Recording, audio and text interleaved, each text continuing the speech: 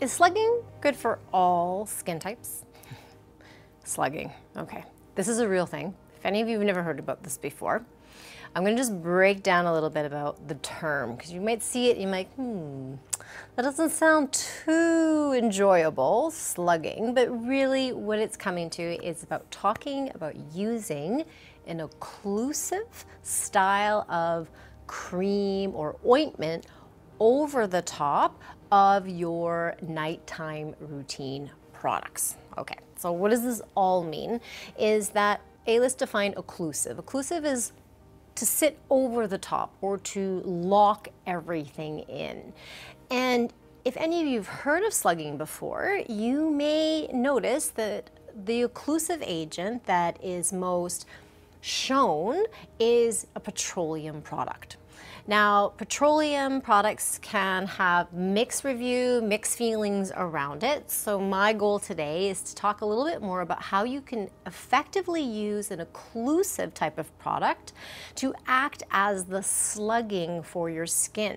So what does this mean for skin types is our recommendation and mine personally is this is going to be the best kind of treatment that you could do for yourself if you sit in the dry skin category oily combination normal might find doing a slugging treatment a bit too much might make the skin feel too heavy and could leave possibly to just too much going on in the skin and causing possible congestion later on. So all of you who are dry skin here that are really looking for a unique way to really help replenish and kind of get that dry skin not so red due to that dryness and also to really get your products that you're already using to really work more effectively for you. So when we use the slugging method, we want to use it at nighttime and you would do it at the very end. So your very last step of your routine. So if you love using facial oils at night, if you love using a night cream moisturizer for your face and your neck.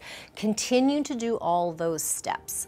Then you would layer over the top of that an occlusive based product so that it's locking everything in.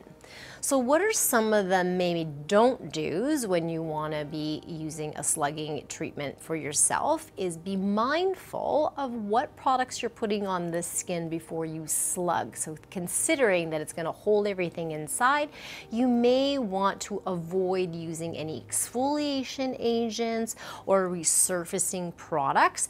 Look more for hydration. Maybe look for more water binding, look for more oil binding, things that are going to be more effective um, that when it's whole, held inside, you will not get any irritation because it has nowhere else to go. Okay, so that's slugging. That's using an occlusive to give you more benefit of your products underneath and for dry skin.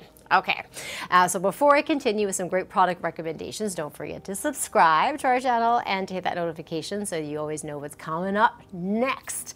All right, let's talk about what you can do for your skin to slug. Okay, so how do we prepare?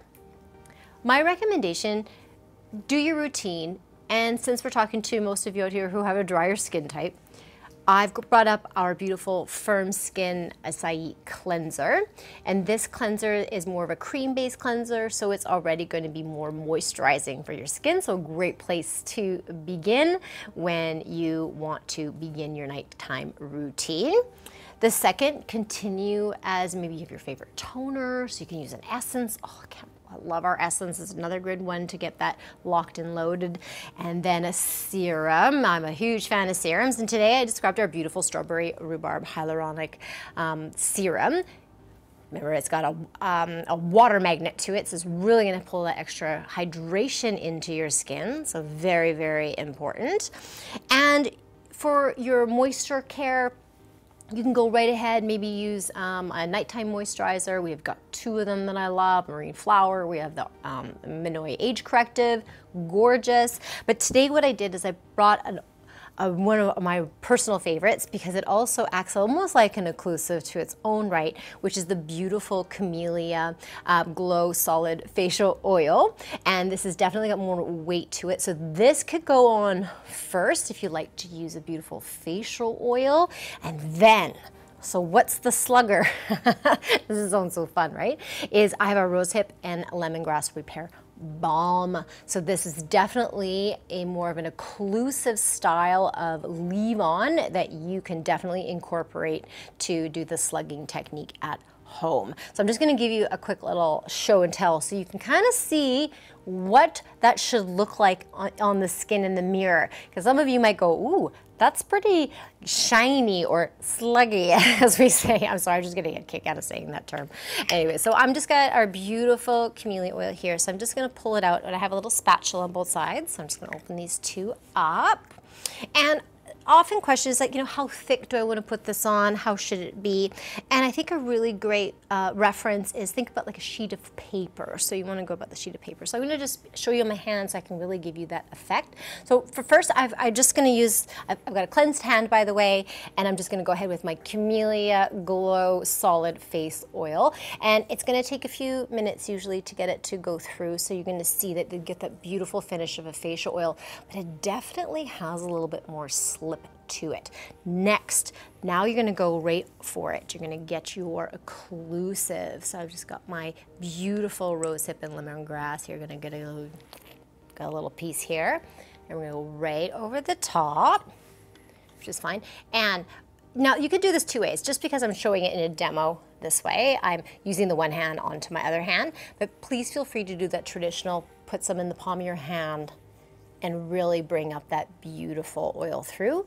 But here you're gonna see that I am gently just starting to massage it through. Oh yeah, I can already feel it. I can feel that occlusiveness sitting right over the top.